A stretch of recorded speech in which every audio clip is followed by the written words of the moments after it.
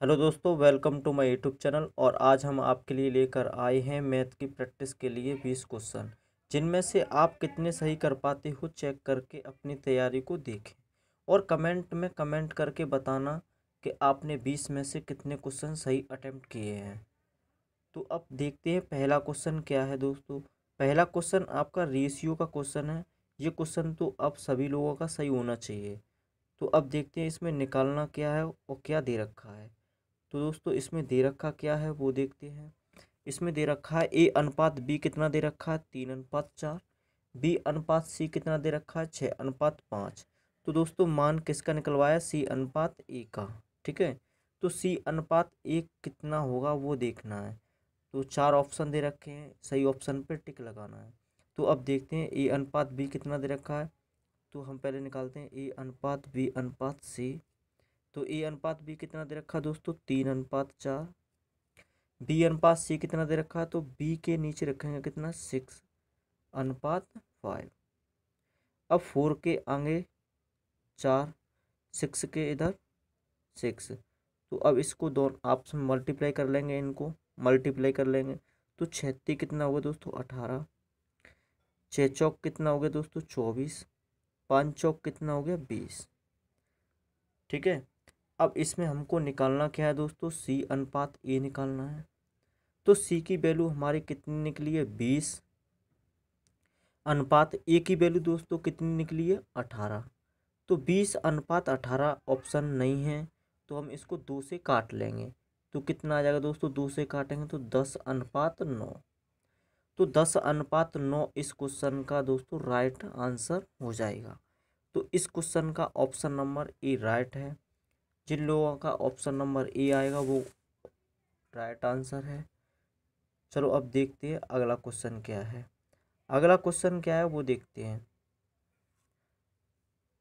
अगला क्वेश्चन है दोस्तों। अगला क्वेश्चन दे रखा है, दो मिश्र धातुओं ए तथा बी में जस्ता तथा टिन का अनुपात क्रम से। पाँच अनुपात दो तथा तीन अनुपात चार है। इन मिश्र धातुओं में से एक का सात किलोग्राम। दोस्तों, इसमें क्या दे रखा है वो देखना है। तो ए का क्या दे रखा है? ए पाँच अनुपात दो दे रखा है और बी का अनुपात कितना दे रखा है? तीन अनुपात चार दे रखा है।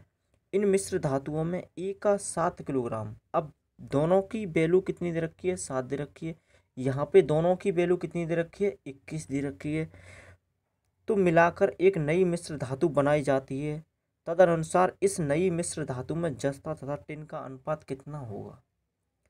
तो देखते हैं अब इस क्वेश्चन को दोस्तों। अब इस क्वेश्चन में क्या है दोस्तों? थोड़ा नेक्स्ट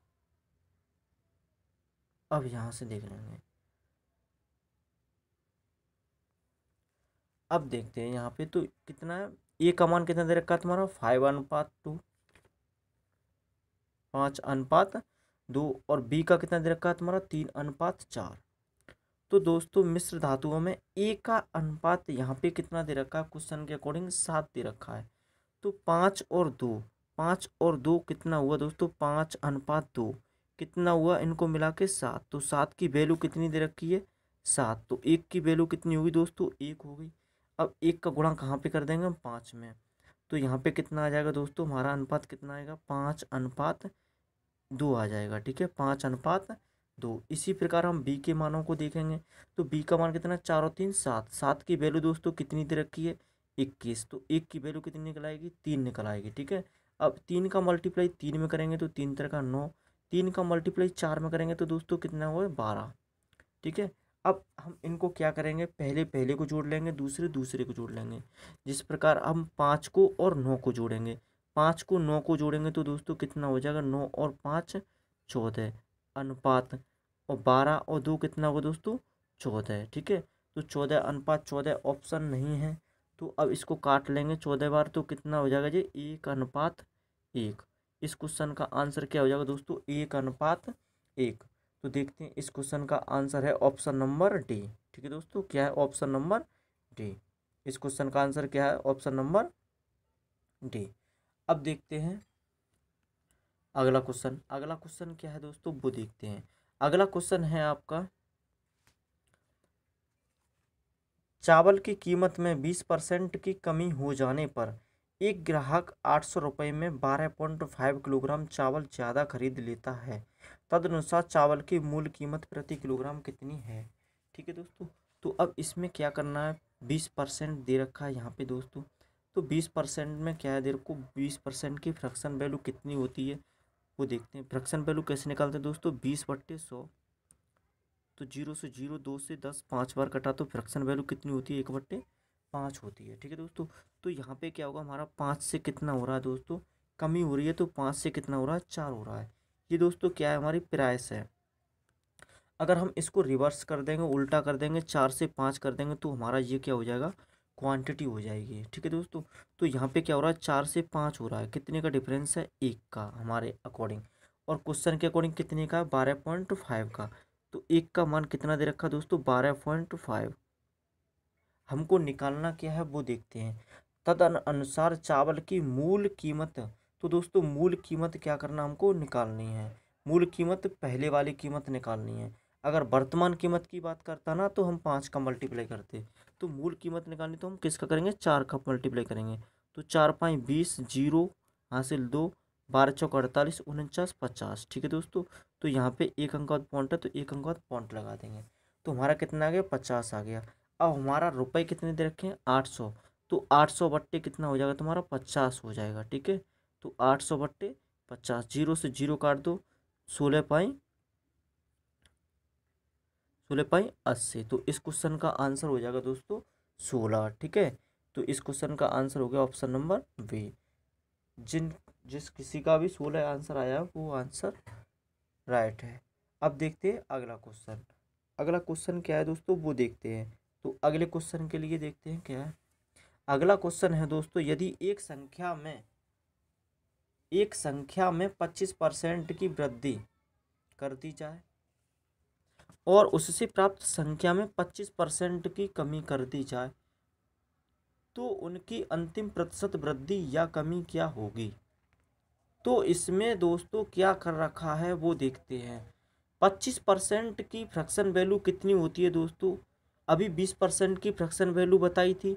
वो कैसे बताई थी दोस्तों? उसी प्रकार हम पच्चीस परसेंट की फ्रैक्शन वैल्यू को निकाल लेंगे। तो पच्चीस बट्टे सौ करेंगे तो दोस्तों पच्चीस चौका सौ। पच्चीस बट्टे सौ करेंगे तो कितना हो जाएगा दोस्तों? पच्चीस बट्टे सौ करेंगे। तो कितना हो जाएगा? पच्चीस चौका सौ तो एक बट्टे चार। फ्रैक्शन वैल्यू कितनी आ गई दोस्तों? चार आ गई, एक बट्टे चार। तो चार से कितना हो रहा है? यहाँ वृद्धि की बात की जा रही है तो चार से कितना हो गया? पाँच हो गया। इसी प्रकार यहाँ पे क्या हो रहा है तुम्हारा दोस्तों? चार से कितना हो रहा कमी हो रही है तो तीन हो जाएगा। यहाँ पे कितना हो गया? सोलह हो गया। पाँच थी पंद्रह हो गया यहाँ पे, गुणा करेंगे इधर तो। अब सोलह से यहाँ पे क्या हो रहा है दोस्तों? सोलह से पंद्रह। एक कम हो रहा है। क्या हो रहा है? एक कम हो रहा है। कितने पे हो रहा है सोलह पे हो रहा है। ठीक है दोस्तों? तो अब यहाँ पे क्या हुआ दोस्तों?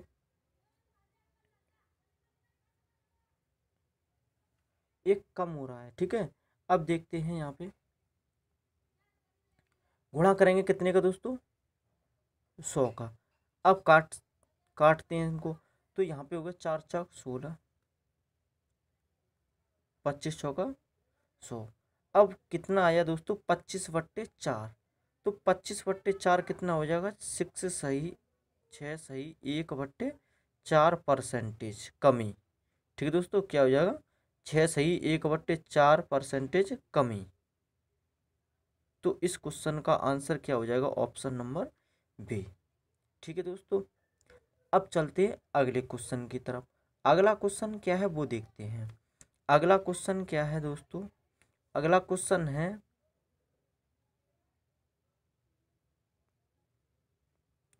अगला क्वेश्चन है, दो की पावर दो सौ पचास, कौमा तीन की पावर एक सौ पचास, कौमा पाँच की पावर सौ, तथा चार की पावर दो सौ। संख्याओं में सबसे छोटी संख्या कौन सी है? ठीक है दोस्तों तो हम इस क्वेश्चन को सबसे छोटी संख्या निकालनी है। तो सबसे छोटी संख्या कैसे निकालेंगे वो देखते हैं। तो दोस्तों, हम इनकी पावरों को समान करने की कोशिश करते हैं। तो इनकी पावर अगर समान हो जाएँगी तो हमको आसानी से इस क्वेश्चन का आंसर मिल जाएगा। तो अब हम इनकी पावरों को समान करने की कोशिश करते हैं। अब देखो दोस्तों, यहाँ पे कितना है? दो की पावर दो सौ पचास है। तो दो सौ पचास को मैं ऐसे लिख सकता हूँ। दो की पावर, दो की पावर पाँच की पावर कितनी हो जाएगी दोस्तों? पचास हो जाएगी। क्योंकि मैं अगर पचास का गुणा पाँच में करूँ तो कितना हो जाएगा दोस्तों? दो सौ पचास हो जाएगा।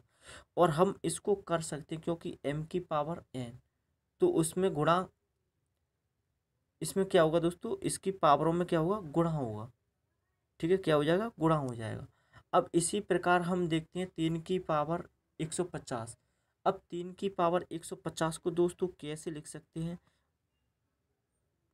तो तीन की पावर तीन, पचास। हम दोस्तों पचास ही क्यों लिख रहे हैं क्योंकि समान करने की कोशिश कर रहे हैं। पचास पचास यहाँ पे दोनों में समान हो गया है। तो अब इसको देखते हैं दोस्तों, पाँच का पावर दो, पचास। क्योंकि पचास का गुणा करेंगे दोस्तों इसमें, दो में तो कितना हो जाएगा? पचास का गुणा करेंगे, दो में तो कितना हो जाएगा दोस्तों? सौ हो जाएगा, ठीक है? तो अब देखते हैं यहाँ पे। अगला क्या है तुम्हारा? अगला है तुम्हारा चार की पावर दो सौ। अब चार की पावर दो सौ को कैसे लिखेंगे? वो देखते हैं। तो चार की पावर चार, पचास तो पाँच चौक बीस। अब हो गया। अब इसमें हमारी क्या हुआ दोस्तों? इसमें क्या हुआ कि हमारे ये पावर सब समान हो चुकी हैं। सब में पावर क्या होगी दोस्तों? पचास पचास पचास। तो अब सबसे छोट अब सबसे हमको क्या देखेंगे सबसे छोटी संख्या देखनी है। तो दोस्तों, दो की पावर पाँच क्या होता है तुम्हारा? दो की पावर पाँच क्या होता है तुम्हारा दोस्तों? दो गुणा दो गुणा दो गुणा दो गुणा, दो। दो दूनी, चार दूनी, आठ दूनी, सोलह दूनी, बत्तीस होता है, ठीक है? अब तीन की पावर तीन कितना होता है? सत्ताईस। अब पाँच की पावर दो कितना होता है दोस्तों? पच्चीस होता है, ठीक है? तो अब यही हमारा आंसर हो जाएगा। पाँच की पावर दो क्या है तुम्हारा? पच्चीस है, यही सबसे छोटी संख्या है। तो ये संख्या थी कौन सी वाली? वो देखना है, ठीक है? तो ये संख्या कौन सी थी तुम्हारी दोस्तों? पाँच की पावर सौ। कौन सी थी? पाँच की पावर सौ। तो इस क्वेश्चन का आंसर दोस्तों क्या हो जाएगा? पाँच की पावर सौ। ऑप्शन नंबर बी इस क्वेश्चन का राइट आंसर है, ठीक है? अब देखते हैं अगला क्वेश्चन। अगला क्वेश्चन क्या है दोस्तों? वो देखते हैं। अगला क्वेश्चन है दोस्तों, निम्न संख्याओं में, निम्न संख्याओं में सबसे बड़ी संख्या कौन सी है? तो अब सबसे बड़ी संख्या हमको निकालनी है इसमें। अब यहाँ क्या दे रखा दोस्तों? पॉइंट वन सिक्स अब यहाँ पे क्या दे रखा दोस्तों? रूड पॉइंट वन सिक्स ठीक है? अब यहाँ से दोस्तों हम पॉइंट हटाएँगे तो दो ज़ीरो नीचे बढ़ाएँगे, ठीक है? तो अब यहाँ से हम इसका रूट निकाल सकते हैं इसका। सोलह का इसका रूट कितना होता है दोस्तों? चार होता है। सौ का इसका रूट कितना होता है दोस्तों? दस होता है। तो अब इसको हम पॉइंटों के रूप में लिख सकते हैं पॉइंट फोर ठीक है दोस्तों? अब हमारी वैल्यू क्या आ गई? तुम्हारी पहली है तुम्हारी पॉइंट वन सिक्स दूसरी होगी तुम्हारी पॉइंट फोर ठीक है? तीसरी है तुम्हारी point one six point one six अगर इसका स्क्वायर करेंगे तो चार अंक बाद ज़ीरो आ जाएगा, ठीक है? तो वो और छोटी संख्या हो जाएगी। और यहाँ पे कितना तुम्हारा? पॉइंट ज़ीरो फोर तो ये भी छोटी संख्या है, ठीक है? तो अब इसमें सबसे बड़ी संख्या कौन सी है दोस्तों? सबसे बड़ी संख्या कौन सी है इसमें? जो सबसे बड़ी संख्या है तुम्हारी रूड पॉइंट वन सिक्स ठीक है दोस्तों? तो इसका आंसर हो गया ऑप्शन नंबर वे अब देखते हैं अगला क्वेश्चन अगला क्वेश्चन क्या कहता है? वो देखते हैं। अगला क्वेश्चन ये दे रखा है दोस्तों, ठीक है? वन अपॉन बीस प्लस वन अपॉन तीस प्लस वन अपॉन बयालीस प्लस वन अपॉन छप्पन प्लस वन अपॉन बहत्तर प्लस वन अपॉन नब्बे। का मान कितना होगा? ठीक है दोस्तों तो इस प्रकार के क्वेश्चनों को करने के लिए आपको कुछ नहीं करना है। थोड़ा सा इसी में देखना है। अब देखते हैं। अब इसमें क्या दे रखा है? तो अब इसमें दोस्तों, एक वन अपॉन बीस। वन अपॉन बीस को हम दोस्तों ऐसे लिख सकते हैं।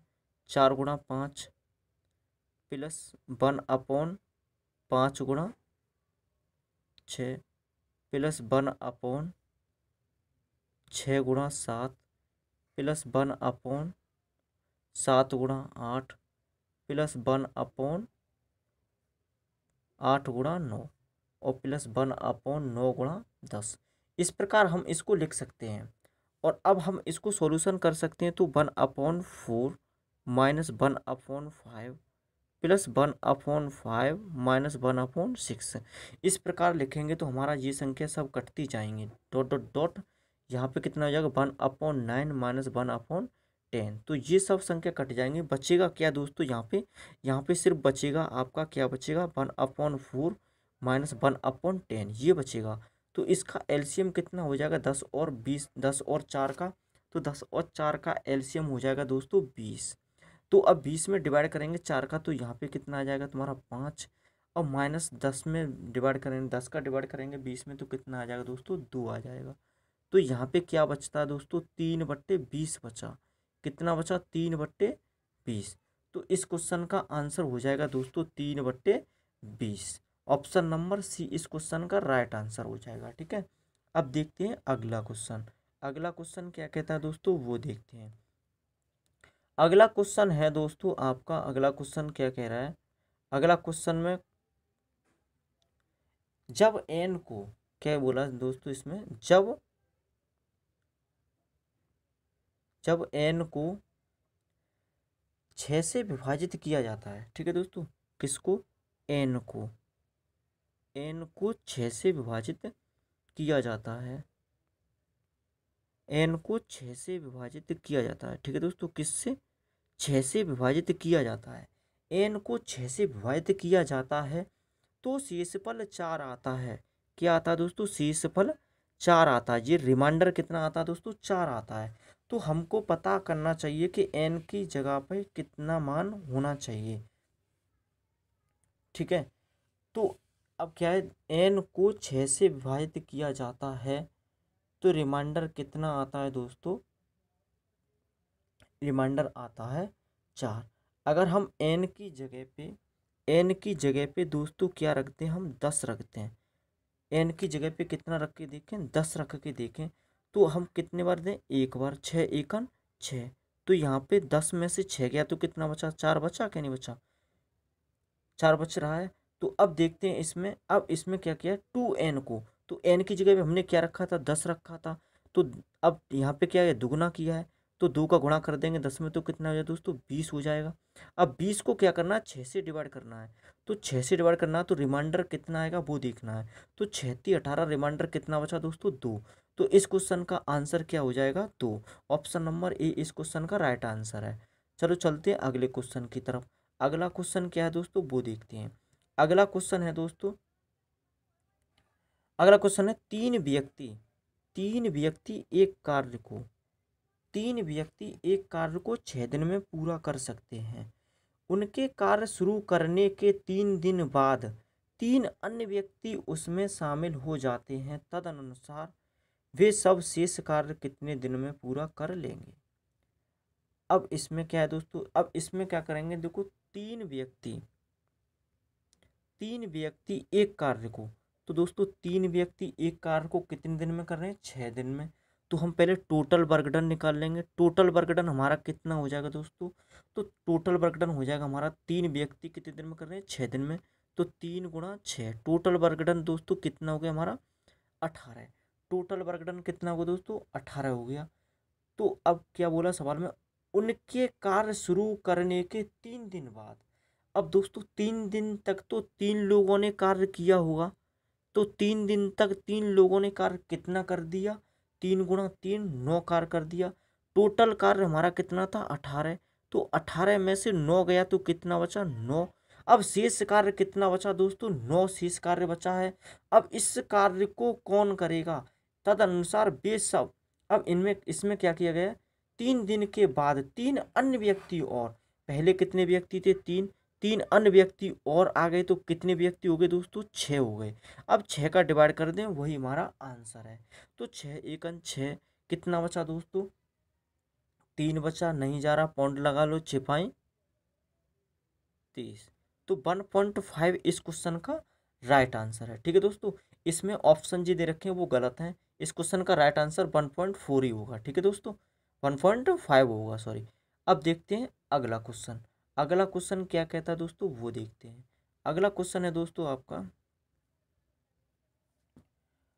अगला क्वेश्चन है दोस्तों 180 मीटर 180 मीटर तथा 120 मीटर लंबी रेलगाड़ियाँ समांतर पटरियों पर एक दूसरे की दिशाओं में, दोस्तों इसमें क्या हुआ? एक दूसरे की ओर आ रही हैं।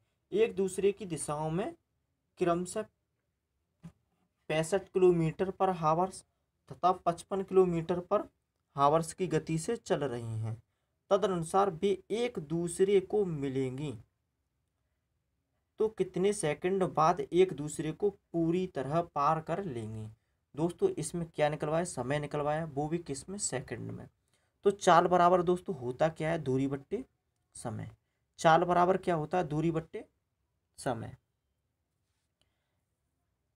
अब देखते हैं, अब इसमें दे रखा क्या है वो देखते हैं। तो दोस्तों, दूरी कितनी दे रखी है? एक गाड़ी की दे रखी है तुम्हारी एक सौ अस्सी। तो इन दूरियों को, दोनों को ऐड कर लेंगे। तो कितनी हो जाएगी दूरी? टोटल दोस्तों, कितनी हो जाएगी? तीन सौ। अब इसमें क्या है दोस्तों? दूरी बट्टे दूरी बट्टे चाल बराबर क्या होता है? समय होता है, ठीक है? और हमको समय निकालना किसमें सेकंड में निकालना है। अब इसमें दूरी किसमें दे रखी है? मीटर में दे रखी है। और चाल किसमें दे रखी है दोस्तों? चाल दे रखी है किलोमीटर पर हावर्स में। तो हमको इसको चेंज करना होगा किसमें? मीटर पर मीटर पर सेकंड में। तो अब इसको चेंज करने के लिए क्या करेंगे? पाँच बट्टे अठारह का गुणा कर देंगे चाल में। अब चाल क्या क्या दे रखी है तुम्हारी? पैंसठ और पचपन। तो दोस्तों, पैंसठ और पचपन चाल दे रखे हैं। पाँच पाँच दस ज़ीरो एक छः और पाँच ग्यारह, एक बारह तो चाल कितनी होगी? टोटल तुम्हारी जुड़ी क्यों है ये? जुड़ी इसलिए है दोस्तों क्योंकि एक दूसरे की दिशाओं में आ रही हैं, ठीक है? ये समान दिशा में नहीं जा रही हैं। अगर समान दिशा में जाती हैं तो घटाते हैं, एक दूसरे की ओर आती हैं तो इसको क्या करते हैं? जोड़ते हैं। तो 120 अब ये 120 है, हमको किसमें चेंज करना है? मीटर पर सेकंड में। तो पाँच बट्टे अठारह अठारह कहाँ पहुँचा देंगे? ऊपर, ठीक है दोस्तों? अब ज़ीरो से एक ज़ीरो काट दो, पाँच छिक्के तीस। छः दूनी बारह, दो निम अठारह। ठीक है दोस्तों? तो इस क्वेश्चन का आंसर क्या निकल आया? नौ सेकंड। ठीक है? इस क्वेश्चन का आंसर क्या होगा दोस्तों? नौ सेकंड। अब देखते हैं अगला क्वेश्चन। अगला क्वेश्चन क्या कहता है? वो देखते हैं। अगला क्वेश्चन है दोस्तों। अगला क्वेश्चन है, बीस परसेंट, कॉमा दस परसेंट तथा पाँच परसेंट की क्रमिक छूटें। कितने प्रतिशत की एकल छूट के बराबर है? तो दोस्तों, बीस परसेंट की फ्रैक्शन वैल्यू हमने आपको बताई थी, कितनी होती है? एक बट्टे पाँच। तो पाँच से कितना हो जाएगा दोस्तों? चार। और दस परसेंट की फ्रैक्शन वैल्यू कितनी होती है दोस्तों? एक बट्टे दस। तो दस से कितना हो जाएगा? नौ। पाँच परसेंट की फ्रैक्शन वैल्यू दोस्तों कितनी होती है?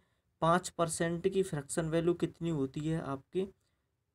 एक बट्टे बीस। तो बीस से कितना हो जाएगा? उन्नीस। अब बात करते हैं, इनको मल्टीप्लाई करते हैं तो बीस पाँच सौ यहाँ पे कितना हो जाएगा दोस्तों? एक हज़ार। और यहाँ पे कितना होगा? वो देखते हैं। तो पहले करेंगे हम उन्नीस चौका छिहत्तर। उन्नीस चौक छिहत्तर। छिहत्तर गुणा कर ले नौ। नौ छिक चौवन, पाँच, नौ सात, तिरसठ। तिरसठ और पाँच अड़सठ। तो यहाँ पे कितना आ जाएगा दोस्तों? आपका छः सौ चौरासी। तो अब दोस्तों, इससे कितना कम है? इससे कितना कम है दोस्तों? तीन सौ सोलह कम है। कितना कम है? तीन सौ सोलह। कितने पे? एक हज़ार पे। गुणा करेंगे सौ का। तो दो ज़ीरो से दो ज़ीरो काट देंगे। एक ज़ीरो बचा है दोस्तों तो कितना हो जाएगा? एक अंक बाद पॉइंट लगा देंगे। तो इकतीस पॉइंट सिक्स इस क्वेश्चन का राइट आंसर है। ठीक है दोस्तों, कौन सा आंसर है इस क्वेश्चन का? इकतीस point six, option number C इस क्वेश्चन का राइट आंसर। ठीक है दोस्तों, चलो चलते हैं अगले क्वेश्चन की तरफ़। अगला क्वेश्चन क्या है? अगला क्वेश्चन है दोस्तों, एक कपड़ा विक्रेता तैतीस मीटर कपड़ा बेचकर ग्यारह मीटर कपड़े के बिक्री मूल्य के बराबर लाभ प्राप्त कर लेता है। तदनुसार उसका लाभ कितना है?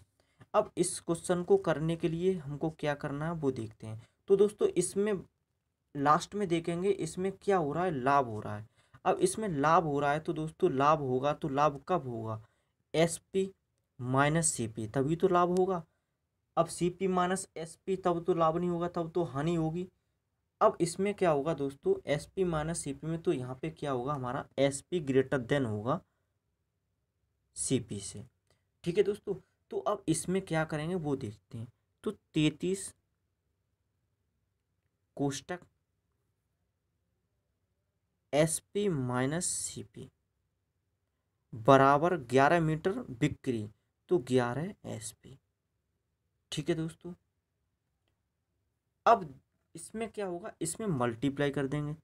तैतीस एस पी माइनस तैतीस सी पी बराबर ग्यारह एस पी अब तैतीस एस पी और ग्यारह एस पी ग्यारह एस पी को इधर साइड लेकर आएँगे तो माइनस में हो जाएगा। तो यहाँ पे बचेगा क्या? तैतीस में से ग्यारह जाएँगे तो कितना बचेगा दोस्तों? बाईस एस पी और बराबर यहाँ कितना हो जाएगा? तैतीस सी पी अब इसको ग्यारह से काटते हैं। ग्यारह दूनी बाईस, ग्यारह ती तैतीस। तो दोस्तों एस पी कितना हो जाएगा? एस पी सामने वाला तीन हो जाएगा और सी पी सी पी के सामने कितना? दो है। तो सी पी और एस पी सी पी कितना होगा दोस्तों? दो हो गया और एस पी कितना हो गया तुम्हारा? तीन हो गया, ठीक है? तो अब इसमें कितना बढ़ रहा है? कितना बढ़ रहा है?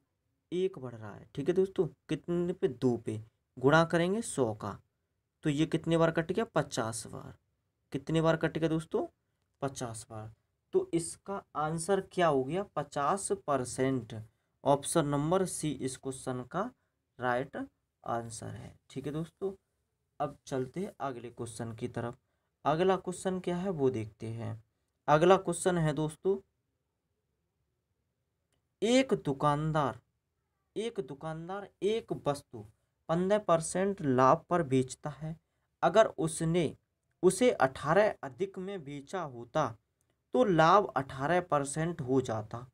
तदनुसार उस वस्तु का लागत मूल्य कितना है? अब दोस्तों, इसमें क्या दे रखा है?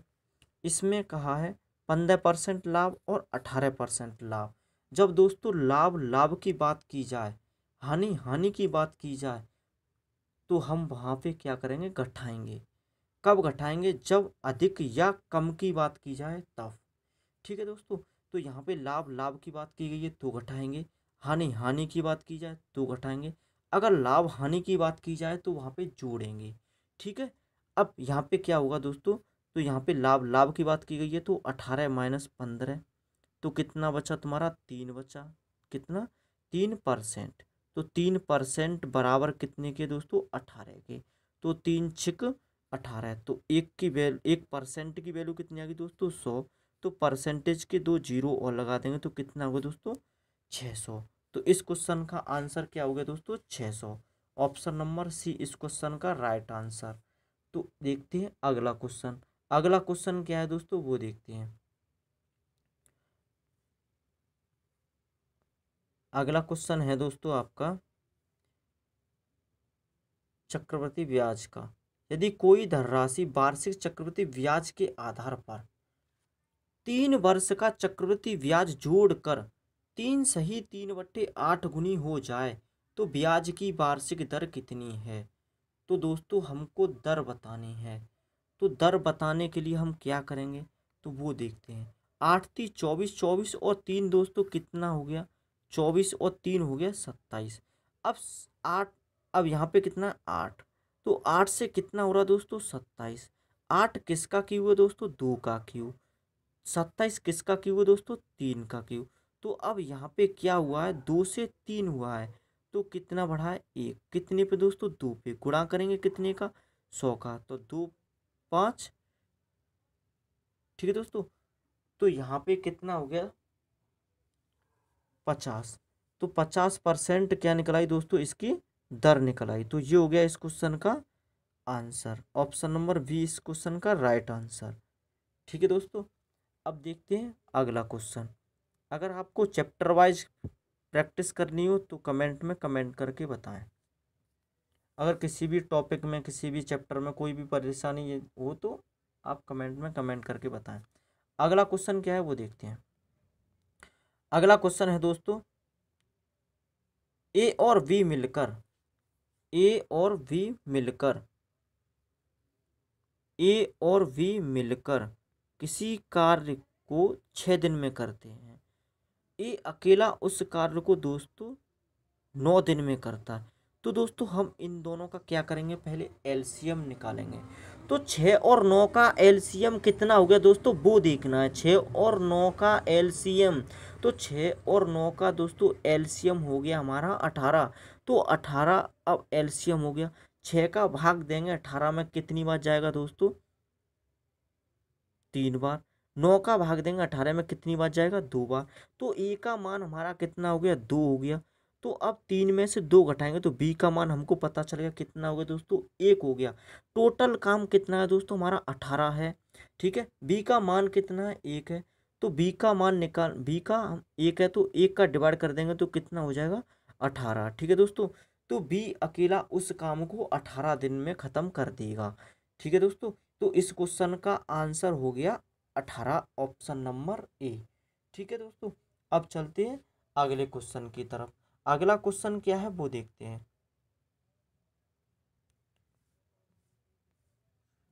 अगला क्वेश्चन है दोस्तों, एक स्कूल में, एक स्कूल में चौदह सौ छात्र हैं। एक स्कूल में कितने छात्र हैं दोस्तों? चौदह सौ। अब चौदह सौ छात्र हैं दोस्तों, ठीक है? पच्चीस परसेंट चश्मा। तो दोस्तों चौदह सौ छात्र हैं।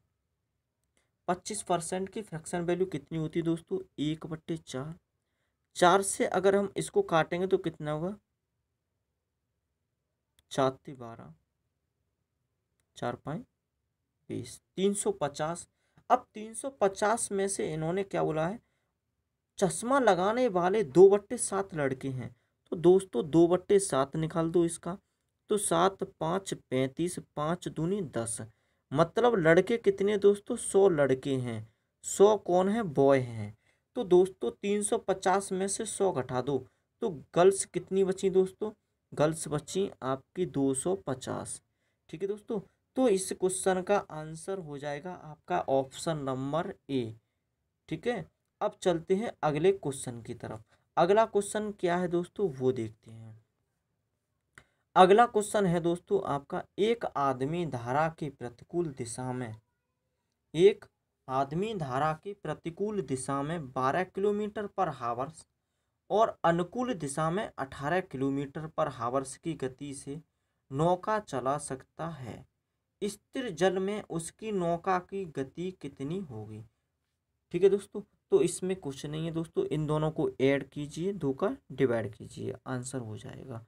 तो इसमें क्या है दोस्तों? बारह प्लस अठारह बट्टे दो। तो बारह अठारह कितना होगा? किलोमीटर पर हावर्स में और आंसर भी किलोमीटर पर हावर्स में। तो कितना होगा दोस्तों? तीस बट्टे दो। बराबर कितना होगा? पंद्रह किलोमीटर पर हावर्स। ठीक है दोस्तों? पंद्रह किलोमीटर पर हावर्स। इस क्वेश्चन का आंसर हो जाएगा ऑप्शन नंबर ए। ठीक है? अब देखते हैं अगला क्वेश्चन। तो अगला क्वेश्चन क्या है? वो देखते हैं। अगला क्वेश्चन है दोस्तों, एवरेज का क्वेश्चन है। पचास लड़कों की एक कक्षा में, पचास लड़कों की एक कक्षा में तीस लड़कों का औसत लंबाई, तीस लड़कों की औसत लंबाई कितनी है दोस्तों? एक सौ साठ सेंटीमीटर है। यदि शेष लड़कों की औसत लंबाई एक सौ पैंसठ सेंटीमीटर है तो पूरी कक्षा की औसत लंबाई कितनी होगी? तो अब इसमें देखना है दोस्तों, इसमें क्या है? पचास लड़कों की औसत लंबाई हमको पता नहीं है। आगे इन्होंने कहा है तीस लड़कों की औसत लंबाई। तो दोस्तों, हमको तीस लड़कों की औसत लंबाई पता है, वो कितनी है? वो देखना है। तीस लड़कों की औसत लंबाई कितनी है दोस्तों? एक सौ साठ। तीस लड़कों की औसत लंबाई कितनी है दोस्तों? एक सौ साठ। बाकी के कितने लड़के बच्चे बाकी के कितने लड़के बच्चे दोस्तों? बाकी के बच्चे पचास में से तीस क्या? बीस। तो बीस बचे। अब बीस की कितनी है दोस्तों? एक सौ पैंसठ। ठीक है? कितनी है? एक सौ पैंसठ। तो बीस का गुणा करेंगे एक सौ पैंसठ में, तीस का गुणा करेंगे दोस्तों एक सौ साठ में।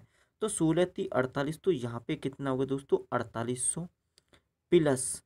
और यहाँ पे कितना होगा दोस्तों? एक सौ पैंसठ दूनी कितना होता है? तीन सौ तीस। तो एक ज़ीरो लगा देंगे। ठीक है दोस्तों तो यहाँ पे कितना हो जाएगा? तैतीस सौ। अब इनको हम ऐड करेंगे। तो दोस्तों, इनको ऐड करेंगे तो दोस्तों कितना हो जाएगा? देखो, दो ज़ीरो तो दो ज़ीरो है ही। आठ, नौ, दस, ग्यारह की एक हासिल एक।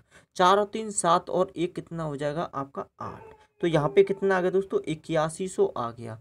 अब यहाँ पे क्या करना है दोस्तों? हमको टोटल कितना? पचास लड़के हैं। तो पचास का डिवाइड कर देंगे तो इनका एवरेज लंबाई निकल आएगी। ठीक है दोस्तों, पाँच से ज़ीरो से ज़ीरो काट देंगे। तो अब यहाँ पे कितना बचेगा? वो देखते हैं, ठीक है? पाँच चिकन पाँच कितना बचा दोस्तों? इकतीस हो गया तो छः पाँच, तीस, पाँच दूनी, दस। तो कितना निकला है दोस्तों? एक सौ बासठ। तो एक सौ बासठ इस क्वेश्चन का आंसर हो जाएगा ऑप्शन नंबर बी, इस क्वेश्चन का राइट आंसर। अब देखते हैं अगला क्वेश्चन। तो अगला क्वेश्चन क्या है दोस्तों? वो देखते हैं, ठीक है? अगला क्वेश्चन है दोस्तों, यदि किसी वस्तु का यदि किसी वस्तु का बिक्री मूल्य बिक्री मूल्य को ही अंकित मूल्य बोलते हैं तो सॉरी दोस्तों, बिक्री मूल्य क्या है यहाँ पे? सॉरी दोस्तों, सेलिंग प्राइस दे रखा है, ठीक है? क्या दे रखा है? सेलिंग प्राइस दे रखा है। तो कितना दे रखा है? बहानवे सौ पचास रुपये हो, और उस पर सात सही एक बट्टे दो परसेंट छूट हो तो उसका अंकित मूल्य ज्ञात कीजिए। ठीक है दोस्तों, क्या निकालना है? उसका अंकित मूल्य ज्ञात कीजिए। अब देखो, यहाँ पे देखना है।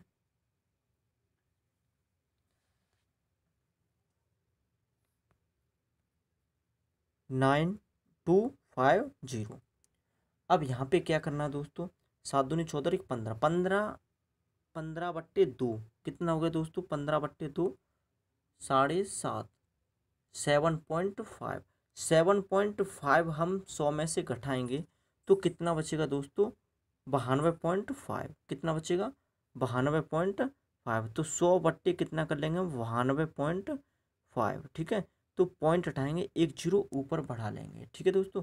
तो नौ सौ पच्चीस से नौ सौ पच्चीस काट देंगे। तो एक पे कितने हो जाएँगे दोस्तों? चार ज़ीरो हो जाएँगे।